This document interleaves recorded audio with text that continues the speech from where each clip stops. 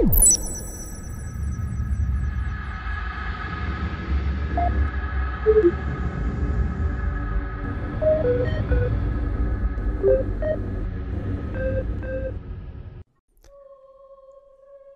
the entirety of the Ultramarines Legion, only five complete chapters were not present at Calth during the betrayal. Several detachments from other chapters were simply unable to join the conjunction. Elements from the 7th and 22nd chapters, for example, were deemed too embedded in combat against Fra'al Crucible worlds to have their commitment to that purgation withdrawn. Similarly, the 10th chapter was almost as far from Calth as it was possible to be in galactic terms, committed to compliance operations in the galactic northeast. Nevertheless, as it stood, some 80% of the Ultramarines Legion had been gathered for the muster, and that number was now rapidly diminishing as the atrocities of the Word Bearers unfolded. In the years to come, those that had been there, or rather those that had survived, formed a sort of in group within the 13th Legion.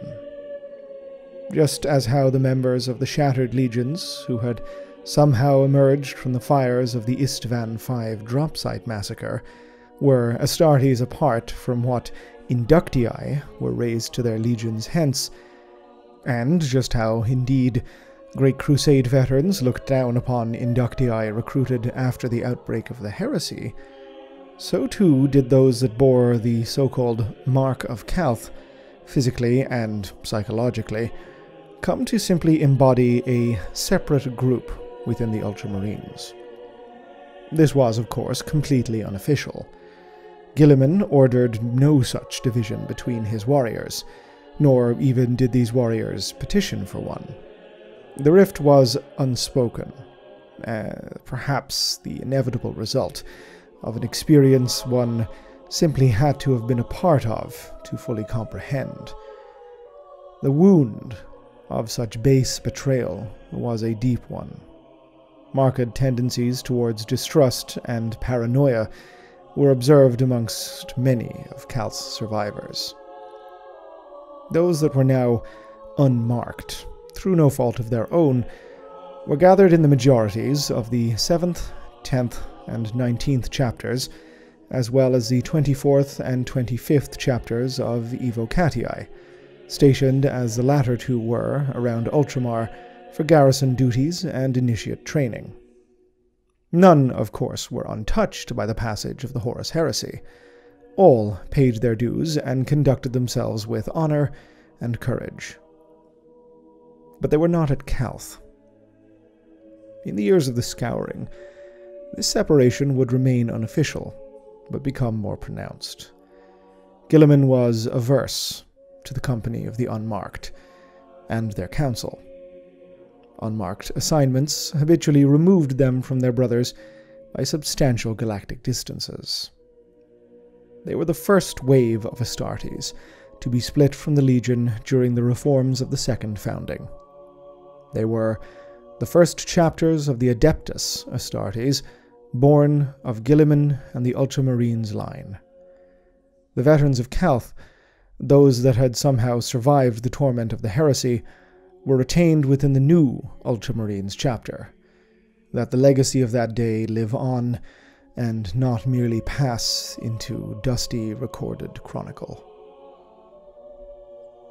by Mark 02.02.33.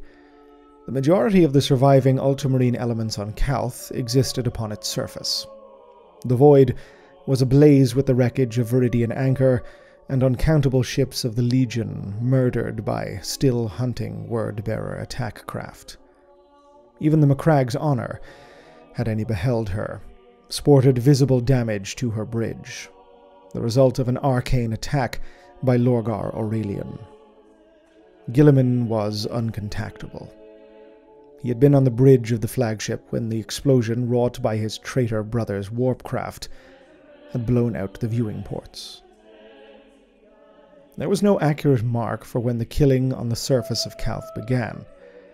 As one's own record has shown, There exist at timestamps previous moments of significant damage inflicted to the ultramarine muster sites by calamities falling from orbit, but as to when the first bolter was fired by the first word bearer, that is far more unclear. Necrocortical analysis of corpses recovered from the irradiated wastes of Calth point to instances of attacks occurring before ships like the Destiny's Hand began their orbital murder.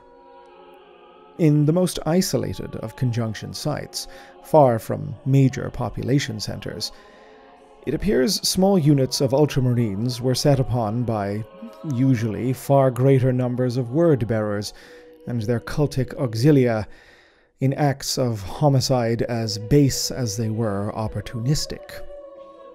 At the edge of the Satric wastes, the corpses of ultramarines and imperialis auxilia alike were transformed into grotesque mockeries of their former forms, arranged in gory tableaus in devotion to the dark pantheon. Initially believed by scholars to have been simple outpourings of blood maddened lunacy on behalf of the 17th Legion, laterally it has been posited that such ritualism in proximity to Erebus's own grand workings deep in the wastes, tied these murders into the eventual ushering in of the ruin storm.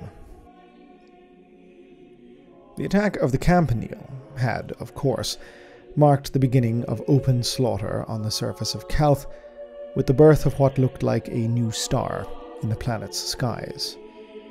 As in orbit, this period is marked by punishing losses and little in the way of retribution.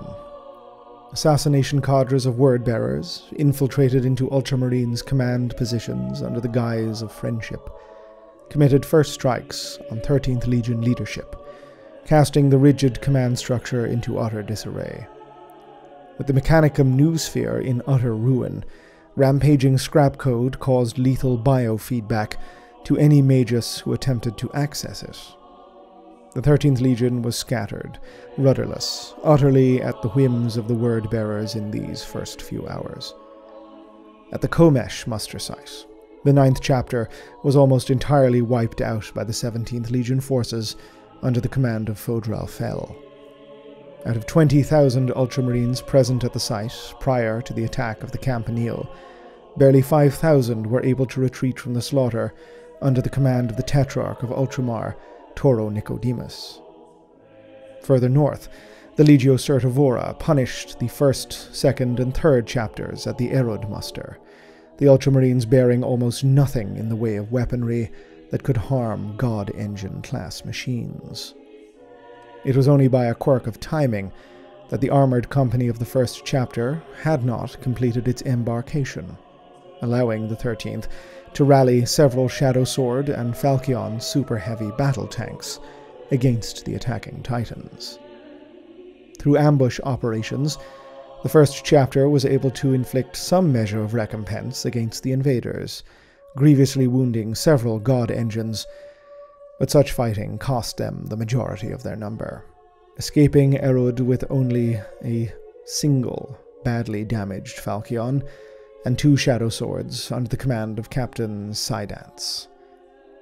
On Calth's night side, Ultramarines in charge of munition resupply were assaulted by hordes of cultic fanatics. Succeeding in barricading themselves into ammunition manufactoria, the 13th held the rabble of Lorgar at bay until their own firearms began to run dry. Much like in the orbital volume, tales of loyalist victories amongst the slaughter are few, but there are some. In Thracias, close to the planet's northern polar regions and Erebus's ritual site, the isolated arcologies and research stations of that area were preyed upon by large numbers of word-bearer Gal Vorbak, the demonically possessed shock troops of the 17th Legion. The fate of the innocents amongst the population are unknown, but given the speed at which the so-called Blessed Sons tore through the region, the established fate of captives who fell, living, into the clutches of the 17th we can surmise their deaths contributed to the enactment of the ritual. and in many ways that were, quite likely, extremely slow and painful. However, given the Gal Vorbak obsession with the collection of baseline human prisoners, the possessed Astartes somehow neglected to account for the presence of the Ultramarines' 22nd chapter, also mustering in the polar climes. Essentially pariahs within their own legion, the 22nd formed the so called Nemesis chapter, bearers of destroyer grade weaponry, phosphex, alchem, and radiological rounds. Annihilation class munitions meant for purgation operations. They were supposed last resort weapons publicly scorned by Guilliman, but nevertheless stocked by his legion should their use be necessary. As a byproduct of their role, the Nemesis chapter had long since become inured to the foul and the fallen, having fought Xenos abominations galaxy wide for centuries. Thus, the assumption on their part was that the Gal Vorbak represented some form of hitherto unknown alien corruption or infection that had overtaken the word bearers. Whether simply a part of the 17th or its entirety had succumbed was not within the minds of the 22nd to discern, merely to act upon. The destroyers of the Ultramarines immediately came to a war footing, and the conflict in the Thracian wilderness rapidly became unto hell itself. The region bathed in crawling phosphex torrents and howling radiological storms. At Mark 04.55.34, the seizure of Zetsun Verid Yard by Sorot Chur and Kor Phaeron was given great and terrible purpose. At this timestamp, it was recorded that the dock's systems were restored to full operation by tagmata of the so called True Mechanicum allied to the word bearers. The data engines, unable to communicate with the Mechanicum server, long since perished, scried the noosphere for any authorities greater than themselves. Finding none, standard protocol was engaged and server authority granted to the Zetsun central engine. As part of Mechanicum redundancy initiatives, Zetsun Verid Yard was always to be designed to act as an emergency backup, and, now under the stewardship of the Word Bearers, the planetary weapons grid was slaved to its cogitators. By Mark 05.05.22, the senior Magos in command reported to Kor Phaeron that full manifold capabilities had been restored, and that targeting solutions were present for the first captain's approval. Kor Phaeron immediately ordered discretionary fire. At Mark 05.05.47, the Calth orbital weapons array began to kill the Viridian system. The grid had been designed by the Mechanicum under Guilliman's express orders to fortify Calth against a threat equivalent to an Imperial expeditionary fleet, and to operate independently of any starship support. The firepower it wielded was simply astonishing. Its first target was an asteroid once named Alamasta, the remnant of a planet that had, eons before, suffered a catastrophic extraplanetary impact. Now reborn as Viridia Forge, it was a massive hub of mechanicum industry, the most significant manufacturing center in the local galactic volume. It had been helpless since the attack of the Campanile, lacking its shields, and of course, possessing no means of evasion. In four prolonged strikes, Viridia Forge was murdered. The first two strikes incinerated the surface rock layers of the asteroid, piercing the adamantine shell of the inner habitations. The third strike popped the main fabricatory hub like a bubble exposing thousands of square kilometers internally to hard vacuum. The fourth strike ruptured its internal reactors and created a new star in the ensuing nuclear explosion. The death of Viridia Forge, aligned as it was, caused Calth to have no night side for the next 18 minutes. at Mark 06.59.59, Chapter Master Marius Gage regained consciousness in the upper reaches of the Macragge's Honour conning tower, or rather, what was left of it.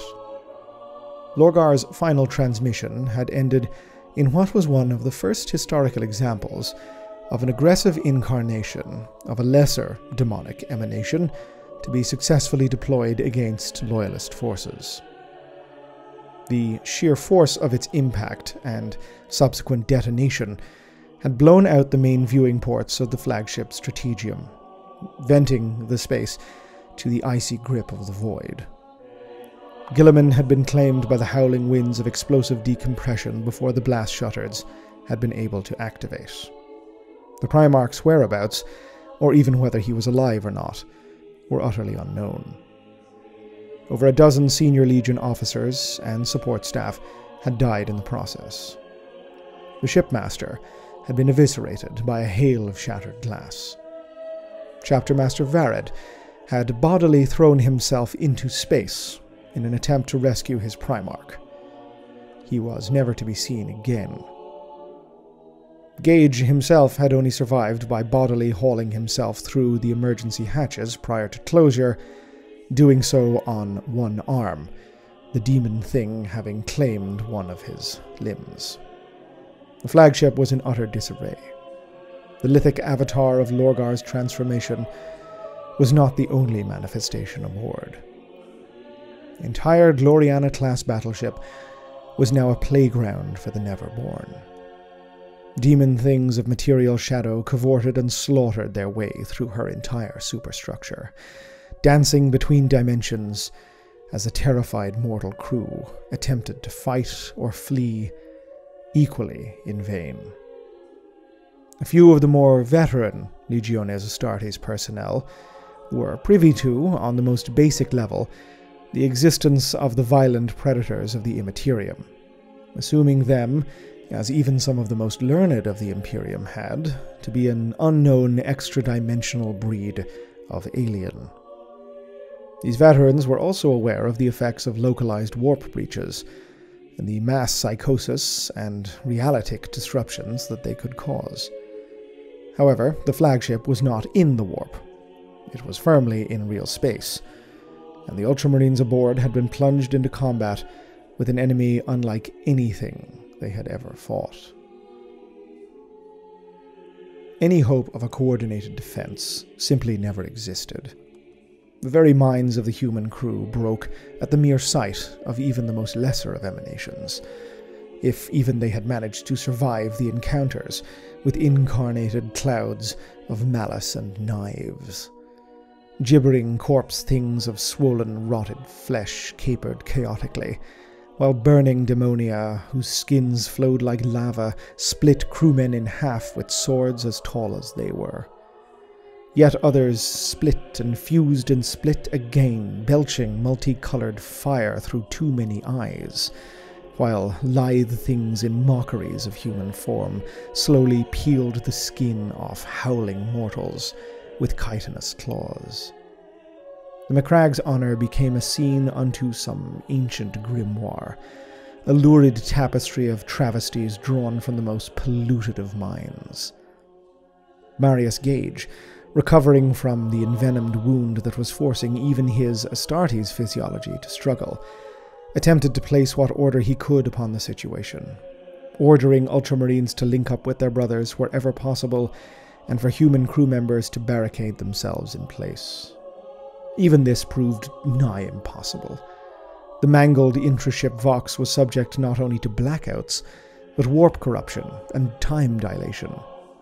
Witnesses spoke of receiving the chapter master's orders hours after he issued them, alongside other localized phenomena. Angles of bulkheads stretching beyond the possible, corridors reaching into infinity. Ragtag squads of Legiones Astartes, naval armsmen, and desperate crew formed by circumstance, haphazardly but nevertheless admirably responding to the invasion with standardized and well drilled Legion counter boarding protocols. In all cases, however, These measures had been designed to fight the enemies the Imperium had waged war against for 200 years. They were never meant to account for the Neverborn. Evacuated and sealed off sections of the ship were subject to rad purges, toxic gas deluges, hard decompression, or temperature cascades. And simply nothing worked. The demonic were impervious to things meant to combat mortals, or even Xenos bodies. The dire state of the communications grid and the loss of so many Legion officers meant that such discoveries could not be efficiently transmitted to other Legion elements, forcing mistakes to be committed again and again and again to dire results. The famed abilities of ultramarine analysis, their dedication to theoretical and practical was sundered, through no fault of their own, by attacks from beings utterly unbeholden to the rules of fundamental reality.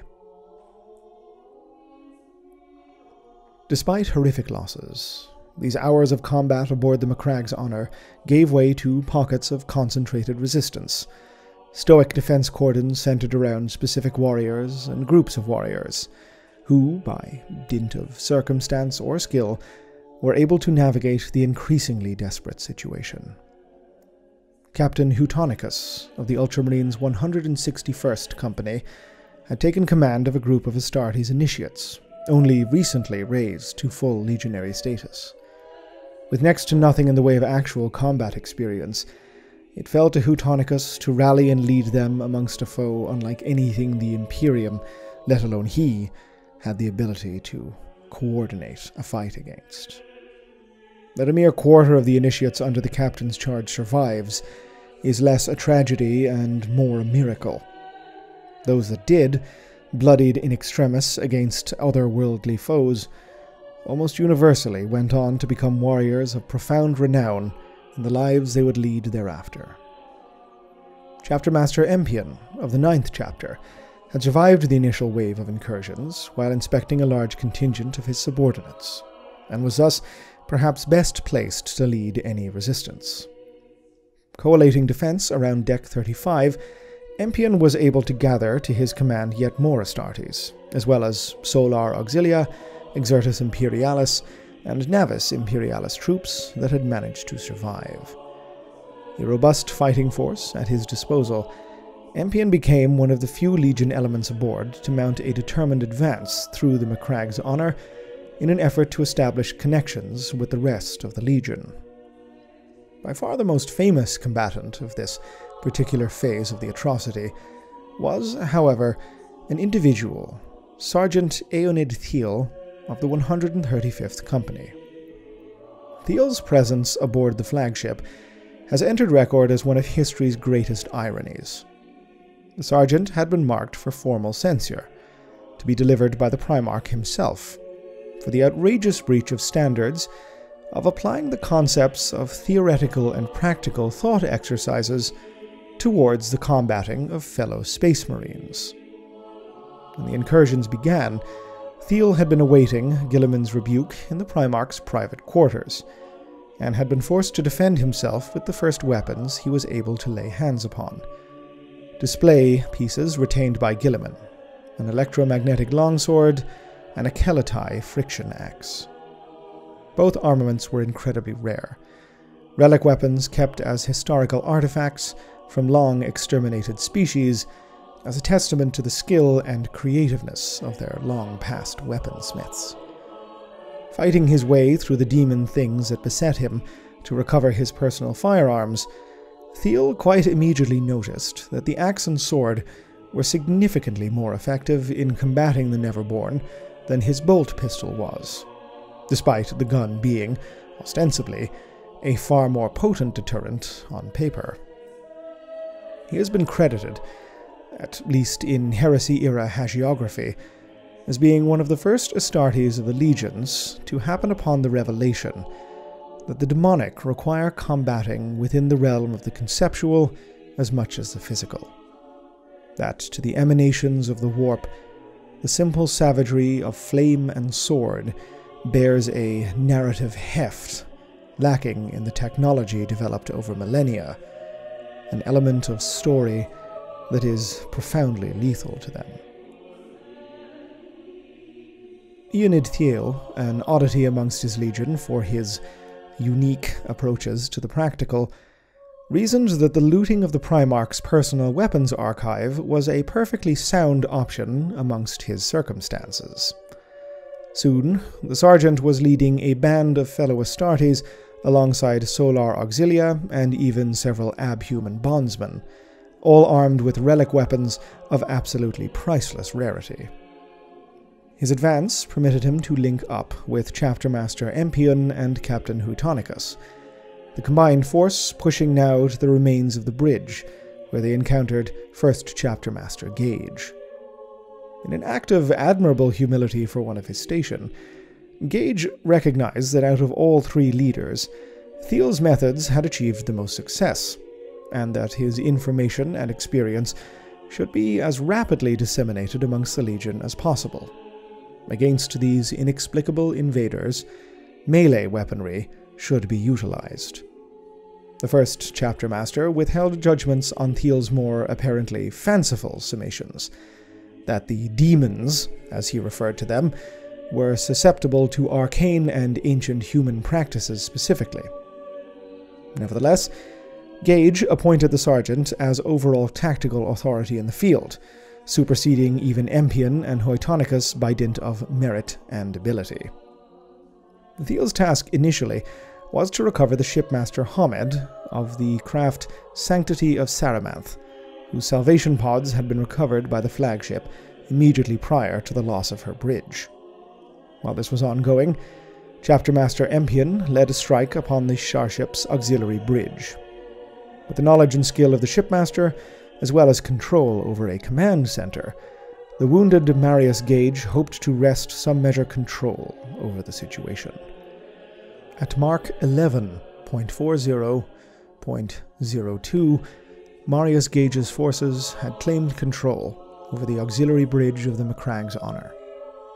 The efforts expended to do so had cost many ultramarine lives, but had saved the fate of shipmaster Hamed from certain death and rescued senior members of the Mechanicum from the besieged Forge Fane at the vessel's heart.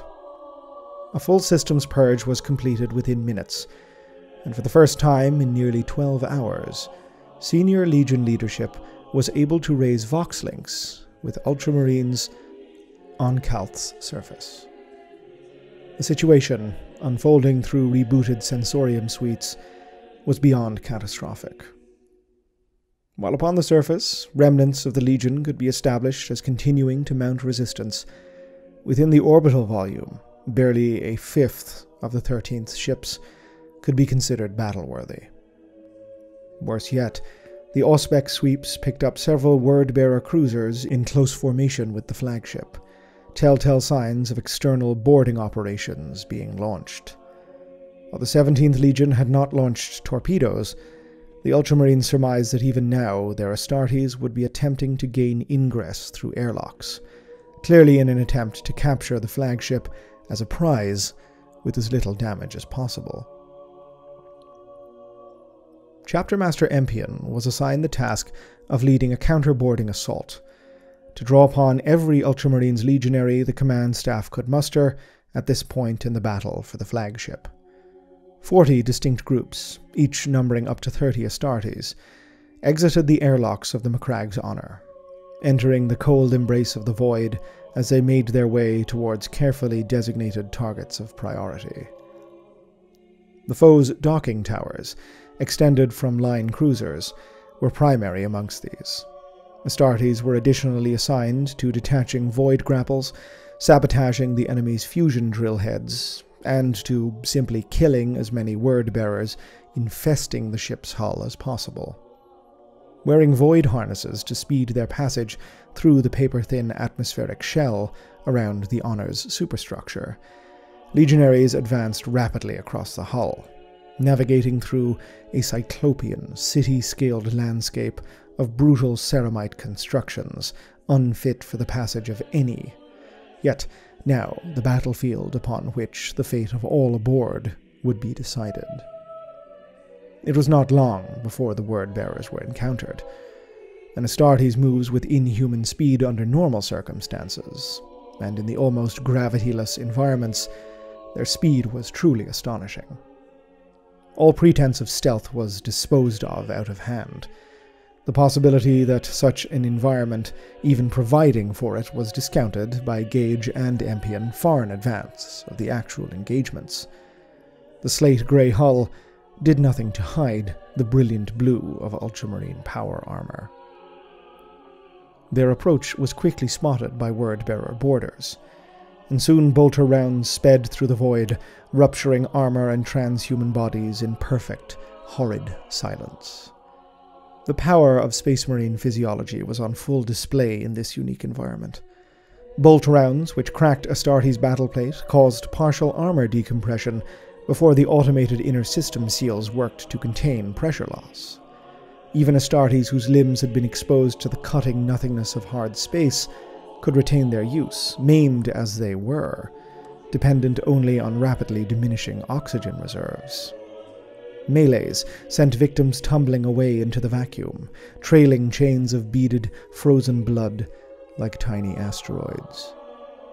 It was as brutal as any fight had ever been that dreadful day, yet all the more horrific for the total silence in which it unfolded. At Mark 12.42.16, the tide of one such engagement had turned upon the strike force led by Aeonid Thiel. A counterattack down the docking tower by the 17th Legion had been committed in far greater numbers than the Ultramarines had anticipated, and had come from an entirely different axis in the three dimensional nature of space battles, to merely add to the punishment. As the Ultramarines clung to whatever cover they could upon the hull, bolter fire rained at them both along the superstructure and from above it. Such was the nature of the desperate attack in the first place, that Thiel and his Astartes reckoned with their destinies that they must sell their lives as dearly as possible in the face of overwhelming odds. Yet, an entirely new miracle made itself manifest at this mark, one free of the dark blasphemies of word-bearer warpcraft. Roboute Guilliman plunged out of the void like a comet in cobalt, an inaudible howl of rage painted across his astonishingly helmless face. Bereft of full atmospheric armor, the Primarch's physiology had somehow allowed him to survive in the trace atmosphere that persisted around the Macragge's Honour's massive form.